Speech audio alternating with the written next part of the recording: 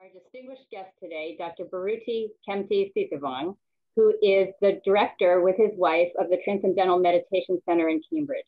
And I want to start by saying I know there's some skeptics in the audience and others who are just curious and don't know anything about TM.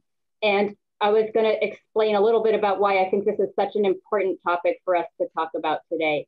So, the four pillars of wellness that we've been hosting webinars about uh, eating healthy, staying active, reducing stress, and sleep.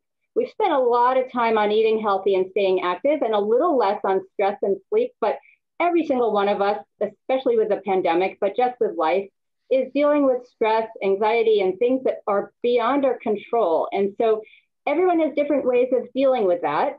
And with my patients, I know that the last out of the last five patients I saw, three of them meditate regularly. And in fact, I got really interested in TM because one of my patients last year, who's a very successful businessman, describes himself as very type A, flies all over the world, very high pressure job, told me that TM really changed his life. And he told me about a book called Strength in Stillness by Bob Roth, which I subsequently listened to on, on my walks. And I became really interested in how TM in particular and meditation in general can really help our patients, not just with managing day to day stress, but how that carries over into managing blood pressure, heart disease, atrial fibrillation, insomnia, etc. So I'm really excited to have Dr. Sisouvong here today. And I'll just full disclosure, he's not quite got his PhD yet, but he's 99% of the way there. So I consider that enough to call him doctor. Um, before we get started, and he's got a fabulous backstory and also a lot of science and information about TM, I just want to take a little poll, and we haven't done this before, so forgive me, but if you can see this poll, uh, it says, have you ever tried meditation?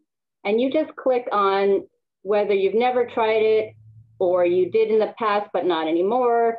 You meditate once in a while or meditate regularly. So take a moment and click on this poll. And I just want to get a sense of where our audience is coming from in terms of meditation.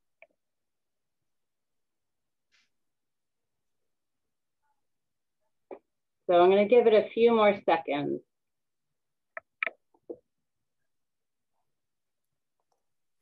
Okay, let's take a look and see. So there's no right or wrong answer, obviously, but I can see about a third of you meditate occasionally, and about a third of you have meditated in the past.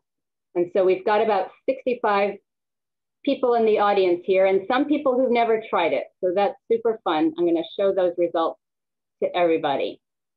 So that's awesome. And I've got one more poll here. And I want to ask you, let's see if we can do this. The second poll is,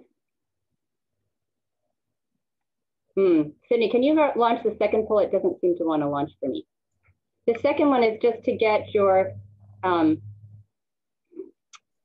your uh, reason for being here and whether you're here hoping to have some help with your own personal medical problems. So what are you most hoping to gain from today's session? So whether you're just curious or you're really struggling with insomnia, high blood pressure, anxiety, depression, multiple of the above. So we'll give this a few more seconds here too. So thanks all for participating in this poll. We'll give it another five seconds.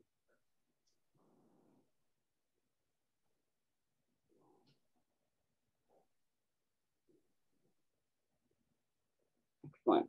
Okay. All right, and um, you've got it. Okay. Perfect.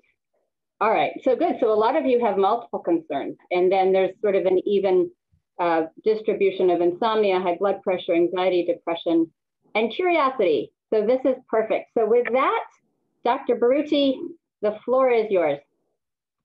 Well, uh, Dr. Lewis, thank you for the invitation. I, am often thinking about when you uh, contacted me to speak to the group and you shared with me the history of the Lown Group. And as you were sharing with me the history, I immediately said, I'm in, primarily because of the holistic approach that the group takes to the matter of wellness. You know, eating healthy, staying active, reducing stress, and sleep are so important. I look at those as the pillars of our both internal and external wellness. And eating healthy, I, I happened chance to now the third time I had a chance to read through Dr. T. Colin Campbell's book, The China Study, which, as you know, is the largest epidemiological study ever conducted on humankind. And myself being a plant-based person since undergrad, I graduated the first time in 1998. Being plant-based and encountering a, a cardiology group that is suggesting to their patients to do something similar in terms of eating healthy is really important. Couple that with the fact of heart health. We do know that in terms of health, you know, you have the anaerobic and the aerobic function. The aerobic function is the heart, anaerobic is the muscle. And so Sorry, just main, talk just a little tiny bit louder if you don't mind. Anaerobic is, of course, uh, the heart. I mean, aerobic is the heart, anaerobic is uh, the, the muscles. And so remaining healthy is really important, not just for the short term of our life, but the long term. Because as we age, as we mature, we, we lose it if we don't use it. And so staying healthy is really important in terms of remaining active. Reducing stress. We live in an epidemic of stress. I didn't know the degree to which people are stressed in society until my wife and I began teaching transcendental meditation in 2013 when we moved here.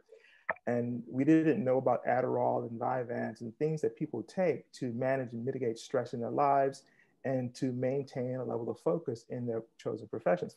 So for me, that was really important to get into delving into what it is that you guys do and sleep. Uh, sleep is paramount. And this is what TM comes to be really effective because when you experience the transcending, that settledness within the meditation itself, it is akin to stage four sleep, which is the deepest part of sleep. So when you fall asleep at night, you get a chance to undergo that process of structured forgetting. The brain reduces those connections that are not meant to have a long term impact, whereas it strengthens those connections that are. You get a quality amount of sleep. When you practice TM, a similar process occurs within the brain itself.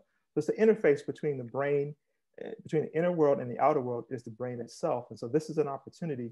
And I was so excited when you uh, when you approached me because again, what it is that you guys do is phenomenal. It has to be done. It is pushing the envelope, so to speak, when it relates to healthcare and people's approach to their own health and wellness. So thank you for the opportunity to be here. Truly appreciate it. Thank you.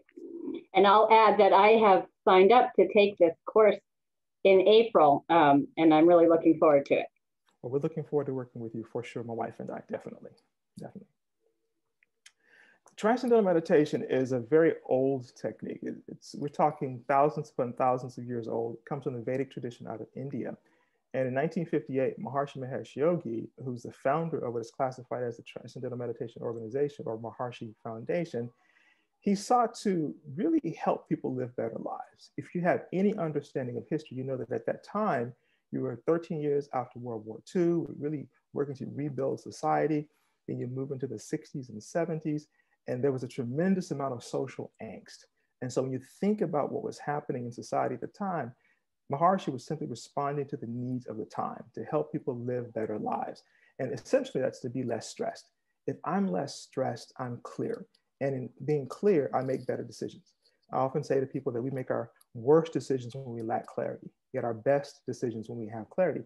TM is this age old technique that affords that process to really become the, the basis of your very being in life. And so the four areas of efficacy are as follows mental potential, health, social behavior, and the impact on the larger social world. So when you think about that, that structure, mental potential is your mind, Health is your body. Social behavior is how you are in the world. Impact on a larger social world is the imprint you leave on the world itself. Mental potential is just what it sounds like. Your mind becomes clear. Why? Because you're transcending all the stuff that goes on within your mind.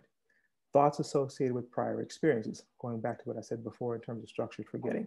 When you sit to practice transcendental meditation morning and afternoon, you're transcending. You're going beyond the active level of the mind going beyond the thoughts that populate your mind to experience that deep well of silence that is resident within everyone. It isn't just within some people, it is within everyone. Everyone who can hear what it is that I'm saying, agree or disagree with what it is that I'm saying, choose to or not to act on what it is that I'm saying, and at the very least, are the age of 10, because of brain maturation, can practice transcendental meditation. What you're doing is allowing your mind to settle. How does this happen? It's a mantra. Mantra is a vehicle that moves the attention in an inward direction. Mantra is a Sanskrit word that simply means a sound whose effects are known. So this mantra is chosen for you as you come through to learn the technique itself. There's an interview process This helps us to decide the best mantra for you. Now, some may be wondering how many mantras are there. I will say there are more than there are blood types, but there are less than 100. And so there, there's a series of mantras that we select from that we've been trained, my wife and I, and all TM teachers for that matter, have been trained to understand the best effects for you in terms of the mantra. That mantra then presented to you. But it's not the mantra alone, it's also the technique itself that allows the mind to settle. The mind is designed to settle. Just as a light is designed to be both on and off, so too is the mind designed to be both active and at rest. This mantra moves the attention in an inward direction, allows you to settle. And in allowing you to settle, you experience what is classified scientifically as restful alertness. In your brainwave patterns from EEG, this is alpha 1. Alpha is associated with cortical idling. Alpha 1 is associated with restful alertness. It's 8 to 10 hertz per second. You sit in to practice the technique and you settle within the meditation itself. You experience this very settled, very relaxed moment, series of moments within the meditation. You come out of that meditation. You bring more calmness and clarity with you into your day. Why? Because you've gone beyond all the stuff that's going on within your mind. I often say to people that we make our best decisions when we have that clarity and our worst decisions when we lack the clarity. The lacking of clarity comes because we constantly play over the prior experiences in our lives that were problematic, whether it be an interaction with someone out in the street, whether it be something from when we were a childhood, in our, in our childhood, whether it be something from when, you, when we were in university. We're constantly playing these things over in our head. And what we're doing in truth, get into neuroscience here, you're strengthening the connections within your brain associated with those experiences. It's going to inform your default thinking and default actions. I often say the only way we become good at anything is because of practice. Anders Ericsson, in his book Peak, The Secrets of the New Science of Expertise, refers to it as deliberate practice. So you can become proficient at anything.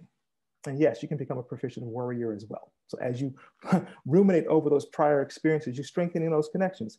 And we're doing it innocently. We just don't know that we're doing it. But once we become aware of it, the question then becomes, what do we do about it? With transcendental meditation, you're transcending those thoughts associated with those experiences. Again, remember, you can only have an experience one time. Now, the next time you recall that experience, you call it again, you recall it again. In truth, you're recalling the last time you had the thought about the experience and not the experience itself. And along the way, for want of a better word, you've colored that experience. You've made it, as my dad used to say, make a mountain out of a molehill. So basically, what you're doing is you're making it worse. You strengthen those connections, and that's going to inform your default way of being within the world. What you're doing with transcendental meditation is to go beyond that. Transcending simply means to go beyond. You're going beyond the active level, going beyond the thoughts to experience that quietude. And it's an experience that quietude that you settle. Now, the mind and body are intimately connected. The mind settles, your body is going to correspondingly settle. One of the best examples I give of this would be that of cortisol within the physiology. We know cortisol is a stress hormone secreted by the adrenals. The adrenals sit atop the kidneys. But we notice also too that the amygdala or the primitive brain, if it's in constant fight or flight mode, it's impacting your adrenals. And in impacting those adrenals, that excess cortisol is being secreted into the system. Now, when you sit to practice transcendental meditation, what you're doing is giving your amygdala an opportunity to rest. Research has shown repeatedly that your blood can be drawn pre and post practicing TM, and on average, the cortisol levels are 30% less. That's a marked difference when you really stop and think about it. And often we wonder, well, how is this possible? Well, it stands to reason that if the mind settles, the body is going to settle. I often give in my talks the example of a person on a Friday afternoon. I come to their office and I ask them, I want to see you Monday morning at 7:30 a.m. It's 3:15 on a Friday. And I ask you, what are you going to do for the entire weekend? You'll be thinking about what is this meeting going to cover? Where did I go wrong in my daily reports? What did I do that I could have done better? You're going to ruminate over the entire weekend. You'll be up bright and early, stressed though you may be Monday morning, you will be there at your appointed time. And it may turn out to be much better than what you thought it was going to be. Could be worse, but who knows? It may be better. What transcendental meditation gives you an opportunity to do is in transcending all the thoughts associated with, you create a new baseline. Doesn't mean you'll never become annoyed with anything, but it means you return to your baseline much more quickly. You settle, you don't hold on to things for very long. And, and, and in not holding on to things for very long, you find you bring with you in your day a level of equanimity. You bring that calmness and that clarity. and it's going to impact your physiology. We know, for example, that not only do cortisol levels decrease, again, on average 30%, we know the high blood pressure numbers decrease. This is established research and data. I think it's about 390 peer-reviewed studies on TM now. You've got uh, decrease in the heart rate in terms of when you practice transcendental meditation, your blood pressure decreases, high blood pressure, low blood pressure normalizes. We find that people who have significant you know, palpitations in the heart begin to settle. They become less anxious. Remember, if you're anxious about something, it's going to impact the physiology. Your heart is racing because you're in a meeting. You're, you're afraid of what it is that you're going to say, or you want to say the wrong thing. Having a level of equanimity impacts the physiology. And as a result of that, you find yourself walking into your day with calmness first within that can then be made manifest without. This is getting into the third area in terms of efficacy, that of social behavior. If a person no longer has to be concerned about lacking in mental clarity, if they have health concerns that can be addressed by getting proper amounts of rest, great sleep at night, uh, a bit of activity, eating, of course, the proper amounts of food, and having the, the mental stability, interior stability to, to follow the recommendations of the physicians such as yourselves, you find these are gains that are being created over time. And as you consistently engage in the technique and the practices that are put forth as a holistic aspect of your own wellness, you find you walk into your day in terms of social behavior with none of the prior concerns you had before. No longer anxious about engaging in interactions. Health concerns begin to abate because you get proper amounts of rest you find yourself becoming much more centered. One of my favorite quotes comes from Benjamin Elijah Mays, a past president of Morehouse College in Atlanta. He says, The circumference of life cannot be rightly drawn until the center is set. The circumference of life cannot be rightly drawn until the center is set. I love that because he didn't say the circumference of life, i.e., the things of life, the, the, the accoutrement of life. They, they couldn't be acquired, they couldn't be had. But when you have your center, your core, those things mean less and mean more simultaneously because you're actively engaged in the process of what it is you want to participate in. You're not allowing yourself to be bowled over by social circumstances. You are aware of them, yet less and less impacted by them because you have this centeredness that you carry with you into your day. People around you will feel that centeredness. They know that there's something different about you because you're walking into this meeting with more calmness and clarity than you heretofore have had. That's going to impact the world around you. How you inter- in, interact with people or engage people in a conversation, it's going to be felt by them. Why? Because it's within you. When you cultivate that calmness and clarity, you bring that with you into your day to greater and greater effect. It's impacting the world around you. I often say to people that those with whom you come into contact, they may never remember your name, but they will always remember how you make them feel. Did you make them feel welcomed? Did you make them feel seen and heard? Did you make them feel less than because of something going on within you? As you go beyond all of those things that are happening within you to experience that calmness and that clarity, that becomes your, for one of a better way of saying it, your calling card. That becomes who and what you are at your core being made manifest. Calmness, clarity, equanimity, better health, mental and physical, but also too socially from an emotional perspective as well. Any points of reflection on that? Yeah, no, that's so, it's so beautiful because I, one thing that Bob Roth talks about is that if you imagine yourself being a little boat on mm-hmm. the choppy ocean, mm-hmm. and we're always trying to calm the ocean, and that mm-hmm. is a fruitless endeavor. endeavor. Absolutely. But TM is more of go below that surface of that choppy water and find the stillness, which always exists at the bottom of the ocean. Exactly. Go down to that quiet place. And that's sort of what you're talking about is that your brain has this tumultuous external, you know, things flying at us all the time. And we can't control that, right? All we can control is how we are in our own brain and our own body. Absolutely. I think it was Goethe, he says, uh, talent develops in quiet places, character in the full stream of human life. And so what you're doing with TM is you're cultivating this calmness and this character within yourself. You're doing it quietly in your home twice a day, morning and afternoon, for 20 minutes. You sit quietly to practice the technique, and all the stuff that's going on, the tumultuous aspect of our daily lives, we transcend it. I often say that the first word in the word meditation is me. I get an opportunity twice a day to make this about me. For far too many of us, it is the only time per day that we get a chance to do something for ourselves. So when you sit to make this about you, to commit to the practice, I often say, have this infinite rigidity that I'm going to practice twice per day, yet simultaneously this infinite flexibility as to how that's meted out. Meaning, if it's before or after your morning ablutions, if it's when you get to your office and you're seated in your vehicle, if you have a long commute and your driver is commuting, making making his way or her way through traffic, and you're sitting in the back of the vehicle and you're meditating, make that time about you, because what's going to happen, you're going to transcend all the stuff that's going on here.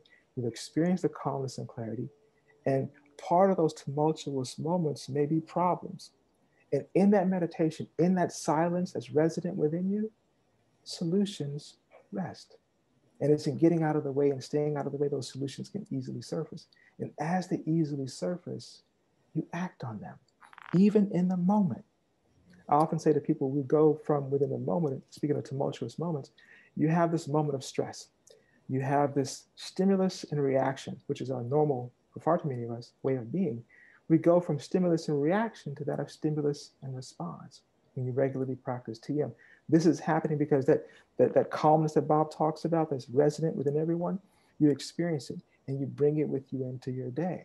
So much so that in that moment, in the midst of this chaotic moment, there's a momentary pause.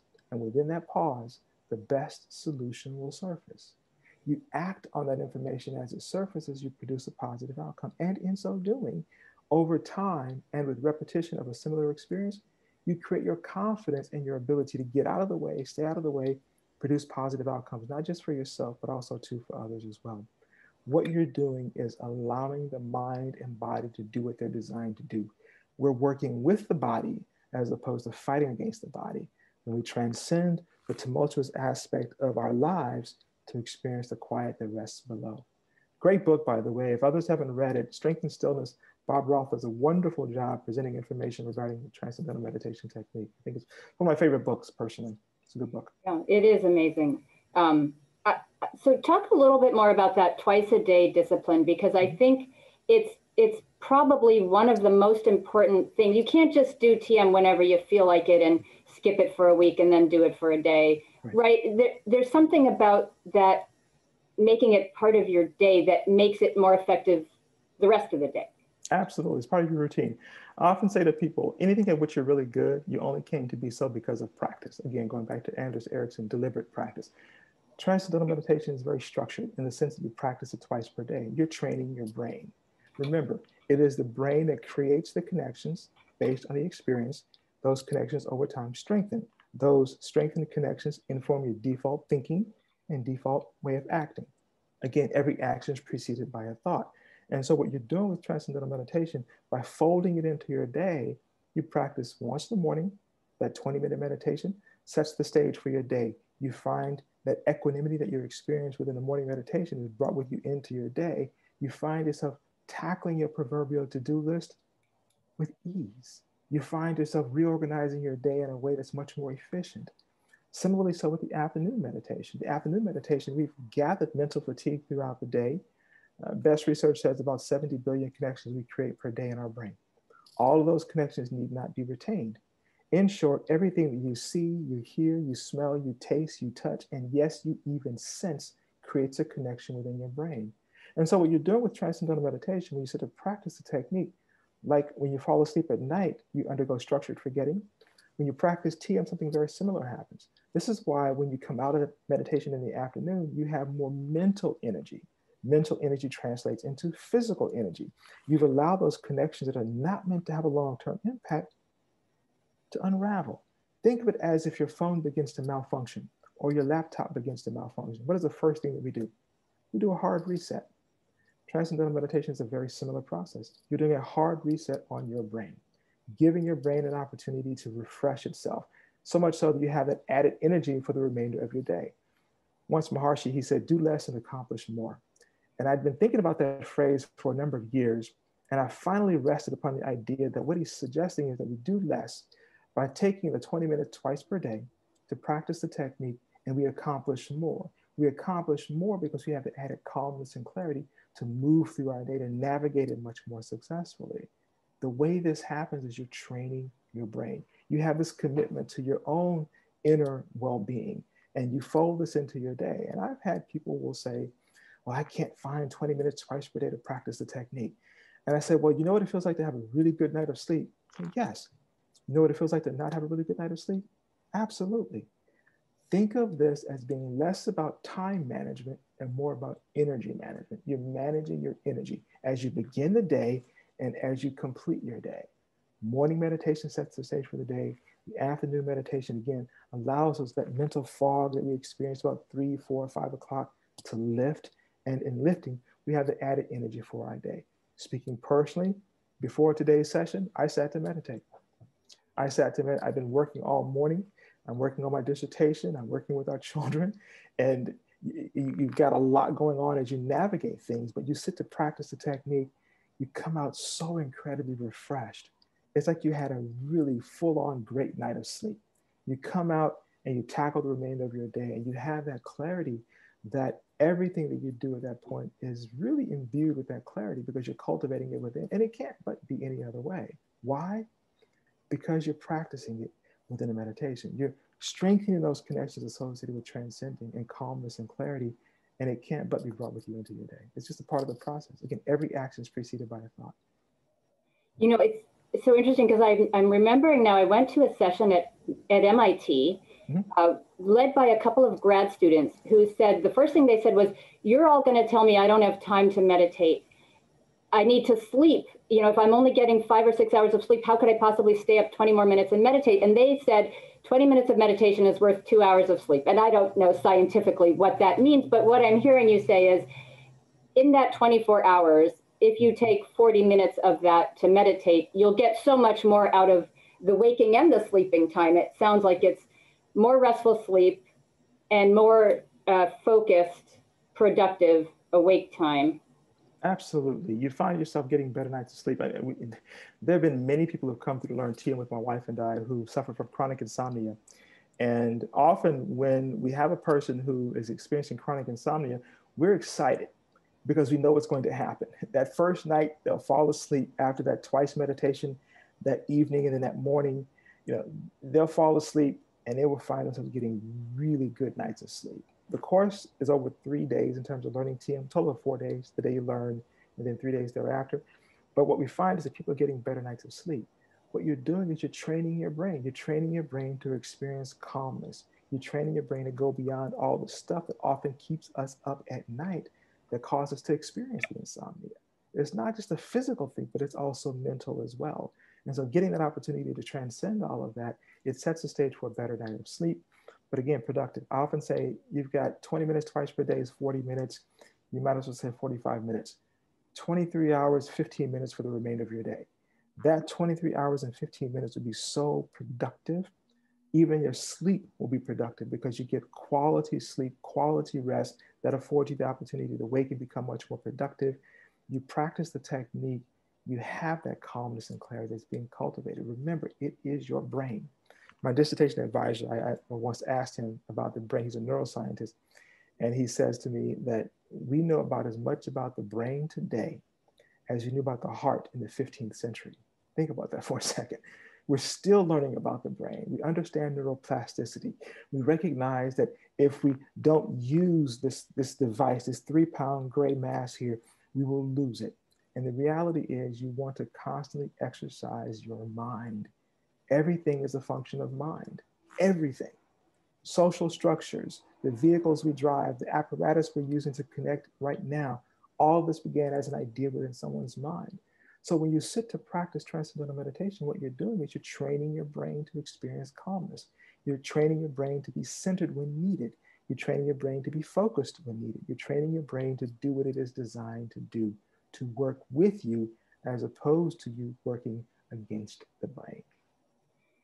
Great. Now I see there's a lot of questions coming in the chat. And first I'm going to start with Dr. Bilchik because you had a question, Brian. You want to Sure. Yeah, a comment. Thank you so much. It's so wonderful to have you uh, talk about things that we don't always talk about, but we recognize the importance. You know, we've always recognized the mind, body, heart connection, mm-hmm. and um, it's it's been something we've we've spoken about in, uh, in the past as well. You know, uh, you you talk about this being a tool, and one really has to practice this so that when you need it most, it's accessible to you. And um, this is something that, you know, we've had a heck of a year. I mean, we all have had, you know, this crazy year. And, and I think uh, stress is at a, a, its highest level.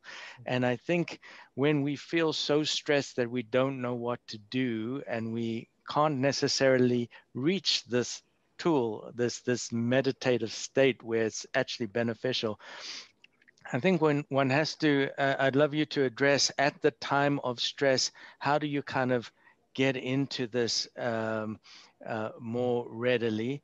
And then the other, uh, before I let you answer that, I just wanted to make a comment. I um, recently saw a patient of mine uh, who was suffering from a lot of palpitations and arrhythmia. And we have this device where we monitor their rhythms and their heart rhythms, and we can do it on a real time basis. And there was all through the day, there was a lot of this arrhythmia. And then for 30 minutes during the day, there was nothing, just normal sinus rhythm without ectopy or extrasystoles. And I was like, I wonder what this person is doing when the heart is actually slowed down and has absolutely no irrita irritability. And uh, this pattern kind of emerged. Day to day, there was this period where there was no arrhythmia.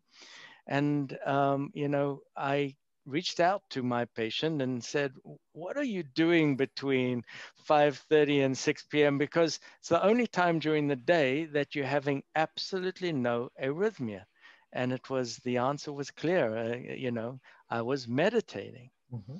and it was stunning to me because there was this practical kind of sense of um, and and for me scientist medicine and this reality of seeing what the benefit was to the heart of no arrhythmia. I really mean it like not one extra systole whereas there was this tremendous burden throughout the day.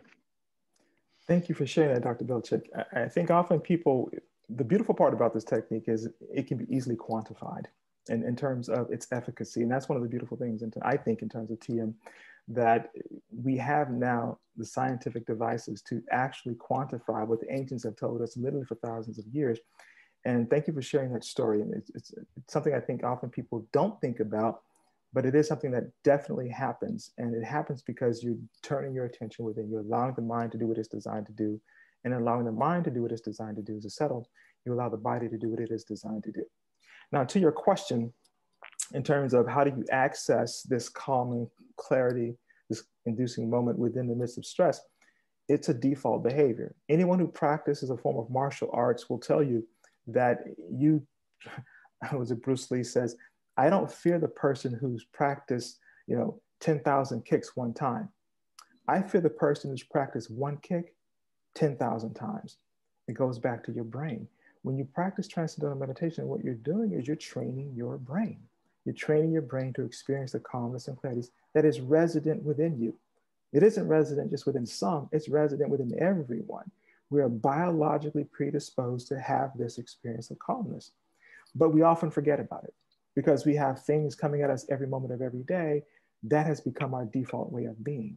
But in truth, when you cultivate this calmness and this clarity by practicing the technique, it comes to serve as a default way of being. You think of it as you begin to plant different seeds within your mind, create different connections within your mind that are associated with calmness. And in the moment of stress, it will be there for you. It's like making, you have a Vanguard account. You, you constantly drop money to your Vanguard account and you don't take a look at it, it's automatically just there, you know, every week, every month, every quarter, it's just there, and you get a quarterly statement. And oh, it's, it's increased this much. Oh, it's increased that much. In a stress-inducing moment, it's like the best Vanguard account because all of a sudden you need it, it's right there. The calmness and clarity becomes your mainstay. Why? Because those connections within the brain have been created and over time strengthened. So that's how you access it. It happens, as Maharishi would say, spontaneously because you cultivate, you've done the work as Goethe said, in the quiet places, in your home, in your vehicle, on the T as you sit to commute, You cultivate that, and when you need it most, it's always there. Excellent question, though. Thank you very much. Wow, so I'm gonna start asking some questions from the chat and people please feel free to add more questions, but there's a couple questions whether this is different, TM is different than mindfulness meditation, Vipassana meditation, all the different kinds of meditation out there. Can you describe how they differ? Excellent question. Excellent question. There are, to date, there are three broad categories. Every meditation that has been peer reviewed falls into one of three categories. The first category is classified as focused attention. Focused attention, you can think of that as like a Zen meditation. Uh, for example, you have a candle placed on your desk. You give your attention to the candle. Your mind wanders. You bring your attention back to the candle. You focus, focus, focus. Mind wanders. You bring your attention back to the candle. Centered primarily within your prefrontal cortex, you're producing what's called gamma, the CEO of your brain. 30 to 50 cycles, very high amplitude in terms of the brainwave pattern because you're focusing your attention on the candle itself. Could also be you have a white piece of paper with a dot in the center. You give your attention to it. Your mind wanders. You bring your attention back. That category, focused attention, again, is like a Zen meditation. The second category is classified as open monitoring. Open monitoring would be like a mindfulness technique. If any of your patients have ever used the app Headspace, Calm, if you have ever sought to, when engage in a conversation with someone, to make eye contact, to listen to them, to really understand what it is they're saying versus waiting to respond and get an edge in. You're really listening to the person. You're being mindful of how you chew your food. You're mindful as you walk along the street, how your foot hits the pavement. You're mindful of your body in space. You're mindful of your heart rate. You're mindful of your thoughts. Within your brain, this is producing theta. It's a slower frequency than gamma, but still on the instance of focused attention and open monitoring, you're engaged in the mind at a very active level. The third category, category where in which TM falls is classified as automatic self-transcending. You're automatically transcending the self, meaning the lowercase s self, the, the thoughts that populate your mind, the, the can'ts, the shan'ts, the never wills. You begin to transcend all of that, those failed expectations, those failed moments in life. You begin to transcend all of that. The thoughts associated with those experiences, you transcend them. And in transcending them, you experience the calmness and clarity that's native within everyone. And in experiencing that, you're experiencing what is classified as restful alertness. This is alpha 1, 8 to 10 cycles per second in terms of EEG. Alpha is associated with cortical idling, but alpha 1 is restful alertness. You are simultaneously rested within the meditation, but you're also very alert, meaning you may have a moment within the meditation. You hear sounds off in the distance, yet you remain unfazed by them you remain unfazed by them because you're within the meditation. You're very settled, you're very relaxed, you're very calm, you're very centered in that moment. Everything that's happening out there is happening out there for this 20 minutes. Remember, the first word in the word meditation is me. It's an opportunity for me to give myself this time. It may be the only one or two times per day that I get an opportunity to do so. And in so doing, you strengthen those connections and repeatedly practicing transcendental meditation, you're strengthening those connections. And it's going to default way, really become your default way of being within the world. Again, focused attention, like a Zen meditation. Open monitoring would be like a mindfulness technique. Automatic self-transcending is a category where in which TM falls. And again, you're automatically transcending the self because you're thinking the mantra. You're not chanting because chanting is an external thing. You're thinking the mantra as you would your favorite poem, your favorite song lyric, your favorite person's name. You're seated comfortably, you're thinking the mantra. And in thinking the mantra, being seated comfortably, the mind settles. You transcend. And it's in that transcending, however long it lasts, you experience that quietude. Without all the stuff that's going on out there and in here, you experience that native quietude. And for many people, that's a very startling experience because it's the first time they've ever had such an experience. They've always thought their mind was constantly active. I've had so many people, my wife and I, come to us and say, I can't meditate because my mind is too active. And I often just smile. I say, Your mind has the capacity to be at rest as well. And so I look forward to working with you. And every single time when they learn TM, their mind settles and they say, I reached some quietude. I didn't know that was there or I feel like I did when I was five or six or 10. You're taking them back to a much more innocent time. Society forces us to be particular ways in the world. to, to do certain things in the world. And if we were to ever have a conversation with our seven or our 10 year old selves, it would say, you know, what have you done? Why have you forgotten this? This is when you were fun. This is when you enjoyed life. It doesn't mean you can't be the go getter as you regularly practice TM. No, it does mean you can do that. Look at Ray Dalio, look at others. But at the end of the day, you turn your attention within, you bring more and more of that which is within you, that quietude, into your day. That is how we really are. That is how we become much more successful because everything is a function of our ideas. Our presentation of self is a function of what's going on within here. everything is a function of mind. Once you allow the mind to settle, the body is going to settle. The body will normalize itself. And thank you, Dr. Bilchik, for sharing that story because I don't think people really understand the efficacy of the technique. And when you sit to practice the meditation, you will see what it does to the body, what it does for your mind, what it does for your life. So thank you for sharing that story. Thank you. But it doesn't happen right away, does it? Right? No. I mean, it, it's practicing the way an athlete practices no. becomes muscle memory and it becomes that's why it comes automatically when you've done it enough that even in a crisis, you don't have to consciously say, ah, my mantra, you're not doing that. No, not at all. You, you, you've cultivated that calmness and clarity over time. And, I, and the one way that I think about it, you have a dye, a vat of dye, and you dip this white cloth into this yellow dye. You hang it in the sun, it dries, a bit of the dye remains. With repeated dippings and dryings, that cloth over time becomes saturated with that dye and it will not fade no matter what you do. When you sit to practice TM, something very similar is happening. You're allowing your mind to do what it is designed to do, to experience the calmness. It's designed to be, to be, to be active, but also to be at rest as well. And so what you're doing is you're cultivating that capacity that's native to you. So much so that in that stressful moment, it's just there. You don't have to think about it martial artists, musicians, you don't have to think about playing once you play Shostakovich a thousand times. it's just there for you.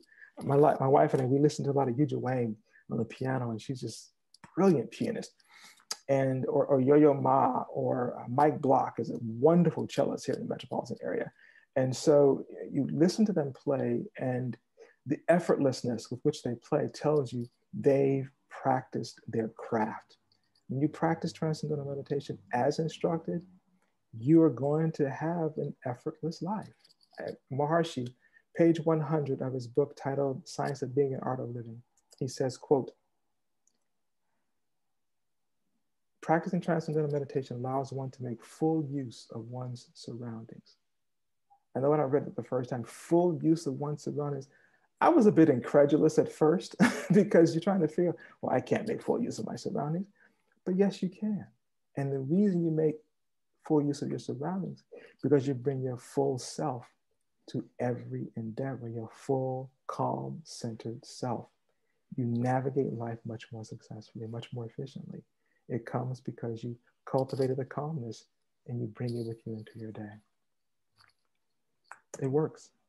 Now, I think some people naturally gravitate towards, say, baking bread, playing golf, going for a walk, do those physical activities, exercising, can that count or be a place where you meditate, or it really has to be sitting in a quiet place?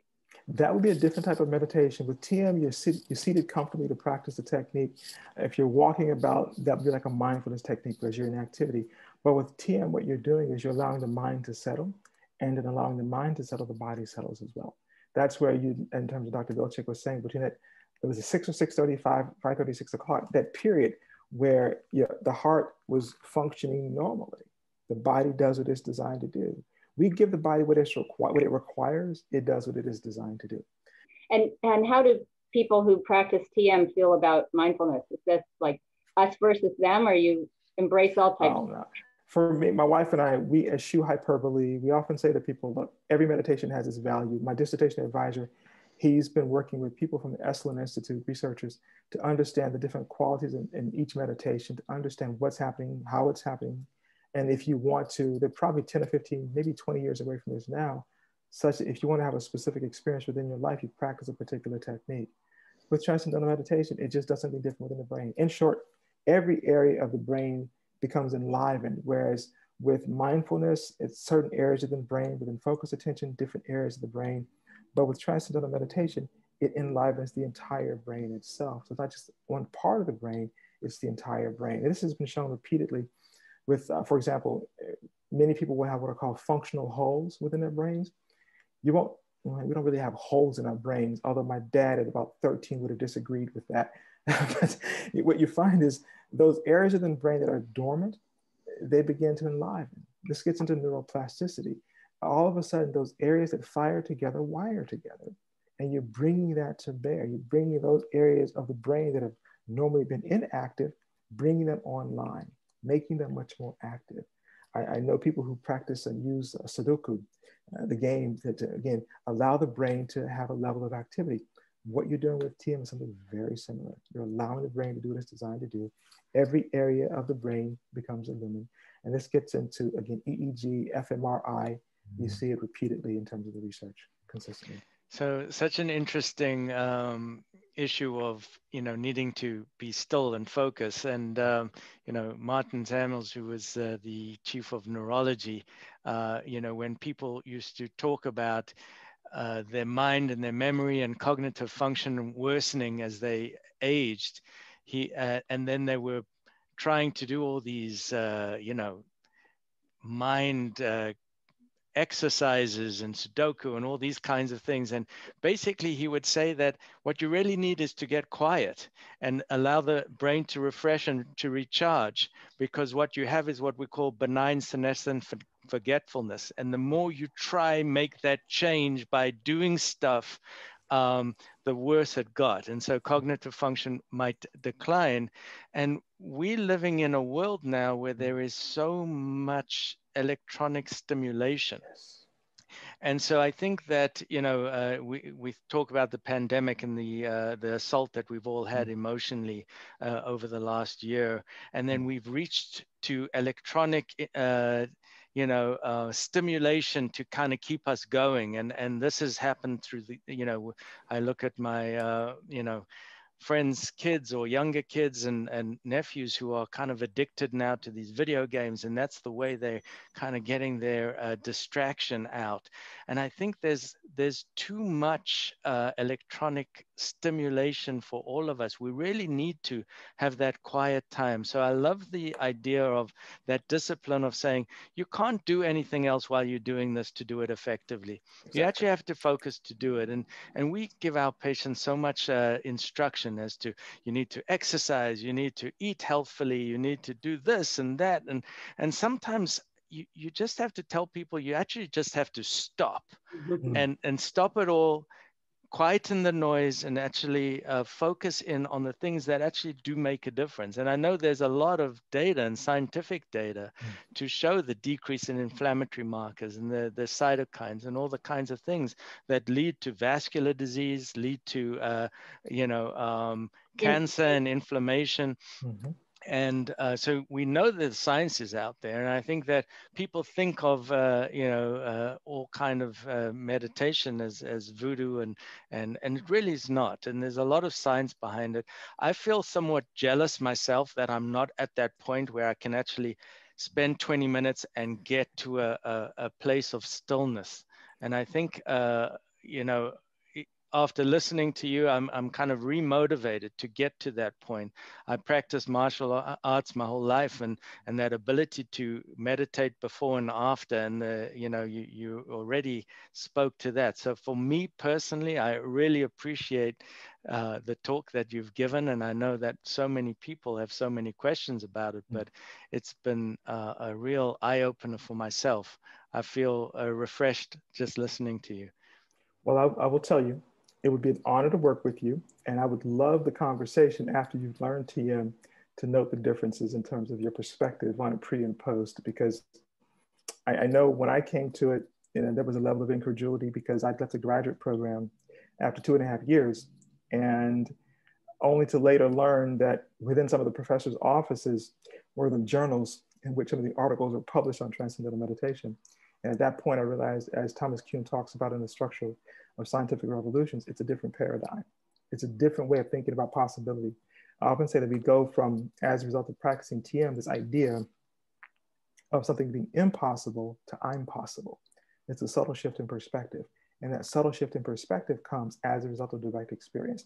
And in having that direct experience of calmness and clarity, and then bringing it with you into your day, it then becoming your constant companion, your life just rounds out in ways you can't even imagine. And so, should you choose to learn TM, let's just say I look forward to those conversations. You would not be the first physician with whom I've had these conversations subsequent to them learning.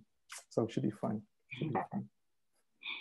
I'm going to bring out a question from the, the chat here. It says, each experience is unique. However, isn't it typical of our minds to group experiences, perhaps especially negative ones? Mm -hmm. This tendency makes it more likely to go over negative experiences.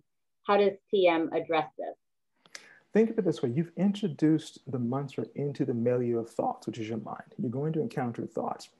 Over the course of the three days after you learn TM, you're undergo this process of understanding the technique of the, the, the trans, of transcendental meditation, what's happening, why it's happening, but as it relates to thoughts, what to do about the different qualities of thoughts as they surface within your mind. If you walk into a fun house, you're going to encounter all the things in the funhouse. If you walk into a house of horrors, you're going to encounter all the things in the house of horrors. So your mind is a very similar space because of all the experiences that you've had and the creation of the connections that you've done over your lifetime.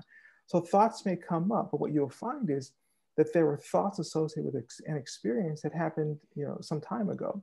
It never really had a hold over you. We've given it more time in our mind. My dad would say we're giving it free rent in our minds, and he was in real estate, and he would never give you free rent. so you're giving it free rent in your mind, and that is then impacting your life as you move forward. It's not to minimize, downplay, to belittle the mental experiences it just highlights how we have the capacity within us to transcend. It is resident within everyone. And transcendental meditation is that technique, along with the mantra, that facilitates the process. So when you encounter those thoughts associated with prior experiences, you're transcending them. You come to have a different relationship with them. You realize that, oh, I can let this go. And it's in letting it go that you find your center, you cultivate that strength, and that comes to serve as your calling card as you move throughout your day and your life. Someone's asking, can can I learn this virtually? Can I learn it on oh virtually? So like one-on-one with an instructor. Mm-hmm. And someone else is asking, can I do this online by myself? Do I need to take a class?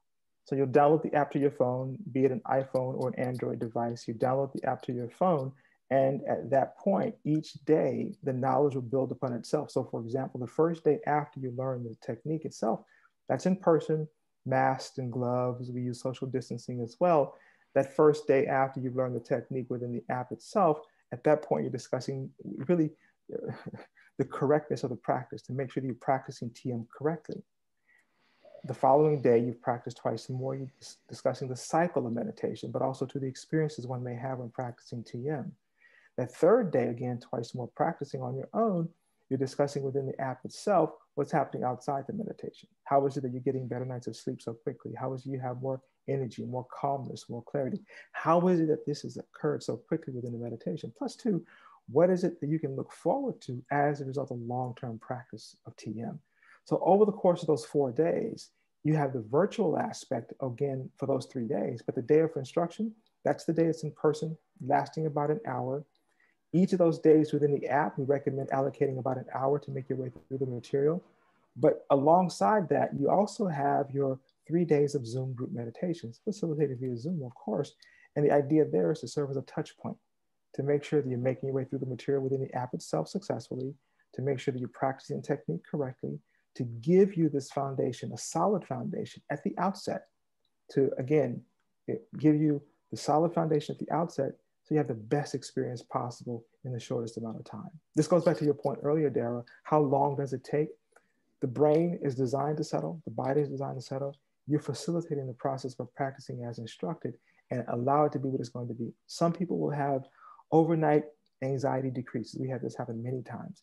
People high blood pressure numbers decrease, low blood pressure numbers normalize, PTS symptoms begin to abate, chronic anxiety, crippling anxiety begins to abate. It happens because you're practicing the technique. But what you're doing is you're training your brain.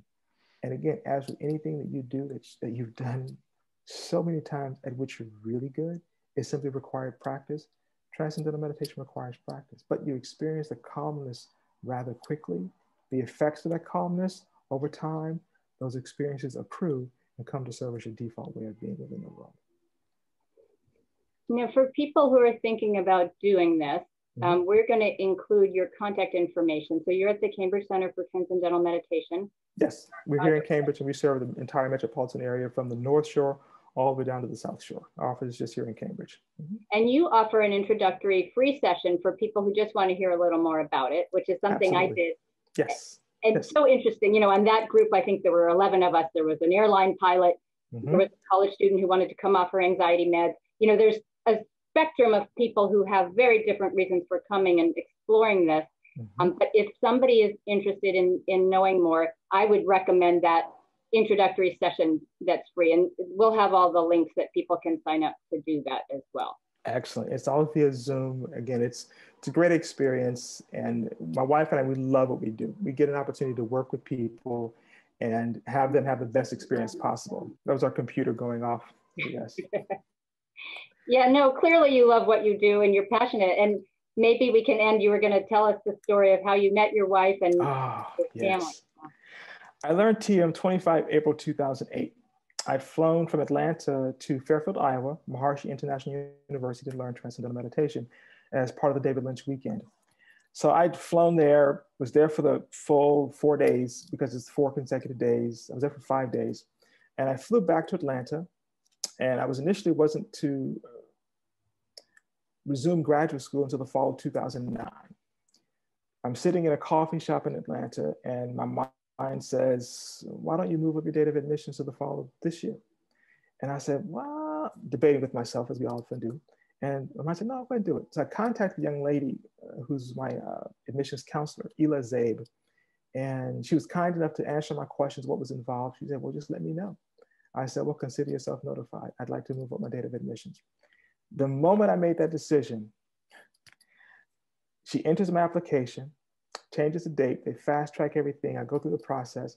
I learned that I'd been admitted to the graduate program to resume graduate school 29 July, one day before my birthday. This was 2008. I'd gone in the dining hall and got there middle of August.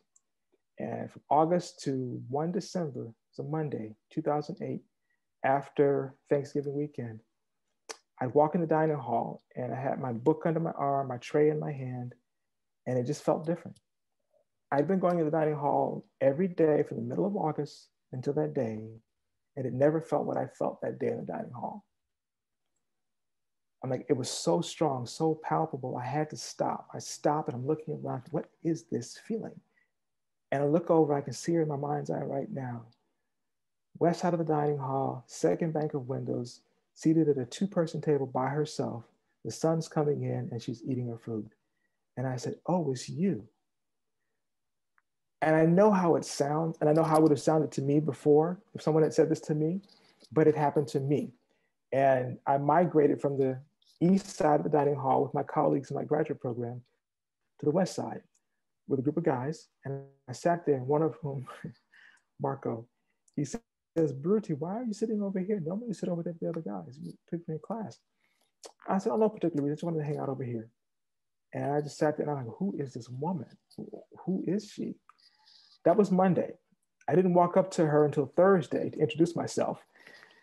She says she's there, to, you know, studying for the advanced techniques. I said, "Oh, great! I'll, you know, I'll see you." She said, "Yeah, I'll see you sometime in, in the evenings." That was a, you know, kind of brush off. I know how to take a hint, no problem. I go back undeterred Friday, tray in hand, book under arm. Is this seat taken? And she says, "No." I sat down. We had a conversation. And as they say, the rest is history. We were wed uh, 2010, 7 11 2010. And this year makes 11 years we've been married. We have three small children, seven. Our son Emerson will be four in July. Our newest son, Tennyson Blake, was born uh, six, five weeks ago now. Five weeks ago. Yeah, yeah, yeah. Since since we spoke, since we spoke, yeah. So we have three small children, Chloe Rose, Emerson James Warren, and Tennyson Blake. And, you know, I, it, it, my life rounded out in ways, my life was pretty cool before I learned TM, but it became even better once I learned TM. And I know what it sounds like when you hear these things from people. And I know if you go online and you hear the interviews from various people discussing their experiences, I know what it sounds like. You'll ask yourself, can I have that experience? And my answer, my wife's answer is a resounding yes. Yes, you can. You can have a better life. You can have a clearer mind. You can walk through your day with much more centeredness and bring that with you into your life to greater and greater effect. It is your birthright. There isn't a person alive who can hear what it is that I'm saying that cannot practice TM at the very least being the age of 10 and have similar results. It just requires practice. Again, anything at which you're good requires practice. Transcendental meditation is no different. That's my truncated story. Thank you for asking the question, Dara. That's awesome. Thank you so much. I want to thank you and I want to thank everyone in the audience. I'm sorry we didn't get to all the questions. There's wonderful questions in here. And um, this was fantastic. So for those of you who are interested in learning more, we'll send out an email and we'll have all your contact information. Uh, say hello to your wife and kids. Can't wait to meet Will them. do. Will do. and uh, have a wonderful sunny day. Enjoy. Thank you. Thank you, everyone. Have a fantastic. Thank you for the invitation, Dara. Thank you. Bye now. Thank you so much.